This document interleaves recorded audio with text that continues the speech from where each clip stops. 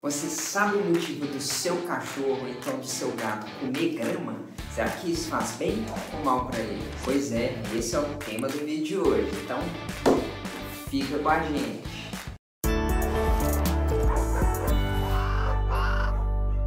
Bom pessoal, meu nome é Marco, eu sou médico veterinário e fica aqui meu convite para você se inscrever no nosso canal do YouTube para ficar a par de todo o conteúdo que a gente posta aqui. Tem também redes sociais, conteúdos diários para vocês. E não esquece de dar seu like no vídeo que ajuda muito a gente a continuar produzindo conteúdo. E esse hábito de comer grama ou então mato é muito comum. Então quem tem cão, quem tem gato sabe do que eu estou falando. E principalmente naqueles animais que têm acesso a jardins e também naqueles gatos que não moram em apartamento. Fora que se você mora em apartamento tem umas graminhas lá, você sabe que seu gato às vezes dá uma xeretadinha ali. Mas esse problema é muito comum para quem mora em casa, principalmente com jardim ou quintal, como eu falei. E alguns animais, quando comem mato ou então grama, eles apresentam vômito, apresentam diarreia.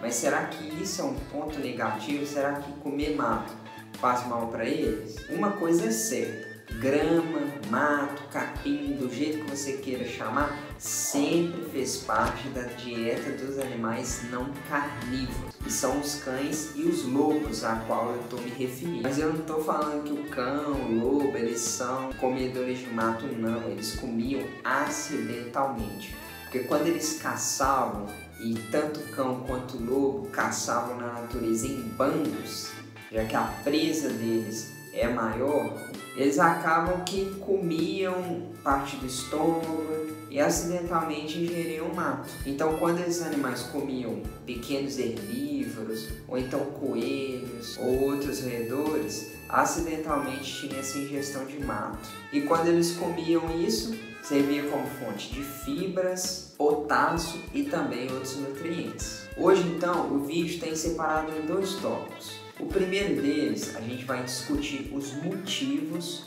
do cão ou do gato comer grama. O que que leva eles a terem esse hábito? O segundo tópico do vídeo seria se faz bem ou se faz mal esse hábito. Então, quais os motivos do seu cachorro ou do seu gato comer grama? O primeiro deles seria fome. Então, às vezes o animal está ali com fome e tem a grama disponível já que a ração, por exemplo, no comedor acabou. O que, que ele faz? Ele vai lá e mordisca grama mesmo só para saciar esse desejo inicial. Então, o primeiro motivo pode ser fome. Então, quando a gente está com fome, qualquer coisa serve. Com o animal não é diferente. Até o que a gente não gosta, a gente passa a comer com fome. O segundo motivo não é fome, mas o animal gosta do sabor da grama que, que a gente pode fazer? Ele gosta de comer. Então ele vai ali e come a grama, não é porque ele está com fome ou porque não tem ração, não, é porque ele gosta do sabor, ele gosta da textura. Então ele come porque ama a grama. E se você quer mudar isso, é só você deixar disponível para ele algum petisco, algum agrado que é mais gostoso, mais atraente do que a grama. Outra causa legal de resolver isso é se você mora em apartamento, suspender essa fonte de fibra e deixar não acessível ao animal. Agora, se você mora em casa, realmente é mais complicado a gente limitar o acesso dele à grama. Mas substituir a grama por algo mais interessante, comestível, é uma boa para eliminar esse hábito. O terceiro motivo que justifica o cão ou o gato comer grama seria deficiência nutricional. Então, muitas vezes está faltando algum nutriente na dieta do seu animal que a grama possui. Então ele busca ali de modo instintivo fonte de nutriente para suprir a demanda do corpo dele. Por isso que a gente sempre indica você a dar ração de qualidade ou então fazer uma dieta natural balanceada por um médico veterinário. Fazendo isso, esse problema é resolvido. Então ele não vai ter desequilíbrio ou deficiência de algum nutriente. O quarto motivo seria ansiedade. Então, às vezes, o animal come a grama, come o mato, capim ou qualquer outra coisa por ansiedade. A gente também, quando está ansioso, a gente come, a gente belisca alimento. O animal não é diferente, ele belisca. E um dos alimentos que ele pode beliscar, se tiver no acesso dele, seria o capim. E um jeito legal de você resolver isso seria procurar ajuda de um especialista em comportamento animal ou mudar a rotina do seu animal, introduzir passeios, atividades físicas e promover enriquecimento ambiental pela casa. Isso vai ajudar muito ele a jogar essa ansiedade fora e parar de comer grama. Se é que o motivo seja essa ansiedade, já que até agora a gente listou quatro para vocês. E a gente tem que ver em qual deles o seu animal se enquadra. O quinto motivo seria desconfortos abdominais. É, seu amigo quando come grama, pode ser que ele está com uma certa dor de barriga. Então isso é instintivo, às vezes por instinto, quando ele está com vômito, diarreia, dor de barriga, cólica, verminose, intestino preso, pés muito ressecados, ele pode comer o mato ou capim para aliviar esses sinais, já que isso é desconfortável para ele. Então eles vão lá, buscam o mato, comem o mato para poder acelerar esse trânsito intestinal e resolver vários desses problemas que eu listei. Nem sempre, como a gente viu nos motivos anteriores, o cachorro ou o gato comer mato significa problema de saúde. Esse quinto motivo é problema de saúde, mas os outros não necessariamente. E um jeito bacana de você diferenciar se seu animal está ou não buscando mato por problema de saúde é você perceber como ele faz essa ingestão de mato. Por exemplo, se seu animal sai desesperado comendo todo e qualquer mato que tem na casa, pode ser problema de saúde, pode ser dor abdominal, ansiedade. Agora, se seu animal realmente ele pasta igual vaca faz, escolhe lá o melhor capim, escolhe outro, outro, outro, aí sim pode ser que ele realmente está selecionando por prazer. Então esse é um jeito fácil de você diferenciar se o comer mato é por causa de doença ou se o comer mato é por causa de prazer. Então se ele é seletivo na busca pelo mato, ele está querendo saborear.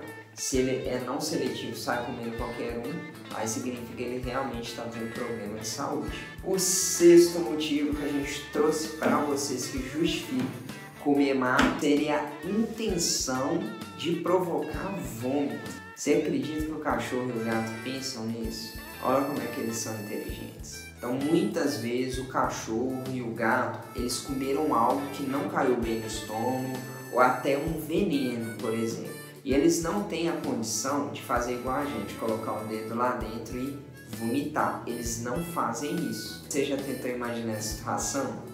Tem como imaginar porque eles não conseguem. Então o jeito que eles conseguiram para fazer isso seria comer a grama. Então esse vegetal, quando o animal ingere, ele lá dentro do estômago, intestino, ele irrita esses órgãos e ajuda a expulsar aquilo que está causando um malefício para o corpo. E consequência disso seria o vômito. Então muitas vezes o animal come para expulsar algo que não caiu bem. E galera, vocês chegaram até aqui, tá gostando do conteúdo? Mais uma vez meu convite, se inscreve no nosso canal do YouTube e segue a gente nas redes sociais. Não perde nenhum conteúdo que a gente posta. E se você tem um amigo ou tem um conhecido que o animal dele come grama, ou então você quer passar as explicações para ele, compartilhe esse vídeo com ele. Porque muitas vezes a gente acha que comer grama é algo irreal para os animais. E vocês viram que não. Agora a gente vai para o segundo tópico do vídeo, que é se grama ou mato faz bem ou faz mal para os cachorros e também para os gatos. Você sabe responder essa pergunta? E vocês viram que alguns deles comem porque é gostoso, mas nem tudo que é gostoso faz bem, concorda? Mas o lado bom é que pode fazer bem ou pode fazer mal, dependendo do mato que seu animal come. E um problema muito grande é que a gente não consegue garantir a procedência da grama. Às vezes a gente tem um gramado que a espécie de grama ali presente não causa malefício para o animal, mas com o passar do tempo, pragas vão ali, crescem e essa praga causa malefício e pode chegar até intoxicar seu pet. E é justamente quando a gente não sabe qual grama que a gente está lidando, é que há o perigo de ter essas reações adversas que a gente não quer. E alguns tipos de gramas podem causar irritações no estômago e até intoxicações. E por esse motivo, dependendo da grama que você dá, muitas vezes nem é culpa sua, você não sabe, pode sim causar malefícios para eles. O que indicamos é você dar grama comestível para eles, que é essa aqui que eu até trouxe para ver a composição dela. E isso se é que seu animal gosta ou não, porque tem animal que não gosta, mas tem uns que não abrem mão do matinho, ou se você quer que ele continue com esse hábito. Então uma sugestão é você comprar essa graminha aqui comestível. E essa sim, você comprando, a gente sabe a procedência e ela vai fazer bem. E de maneira geral, essas gramas elas contêm um mix de sementes das gramas mais saudáveis para o seu animal. Então contém semente de trigo, aveia, painço, milheto e também alpiche. Essa aqui, por exemplo, está falando que contém sementes de alpiche, azevém e painço. E além disso, tem outras informações aqui que é rico em aminoácidos e clorofila, regula a flora intestinal, naturalmente e o produto é natural sem aditivos químicos. Então essa que a gente sabe a procedência, a gente recomenda sim dar para o seu pet. Todos esses motivos que a gente citou no início do vídeo são importantes você saber para descobrir o porquê que seu animal come grama. Que muitas vezes pode significar doença, outras vezes não, é que realmente ele gosta do sabor. E além disso, você tem que saber que grama você está dando, você tem que saber essa procedência. Sabendo a procedência, você fica tranquilo que seu animal está comendo mato, não sabendo, aí a gente preocupa. Beleza, pessoal? Então o recado que eu queria dar no vídeo hoje é esse. Espero que vocês tenham gostado. Um forte abraço para todo mundo e tchau! Até o próximo vídeo.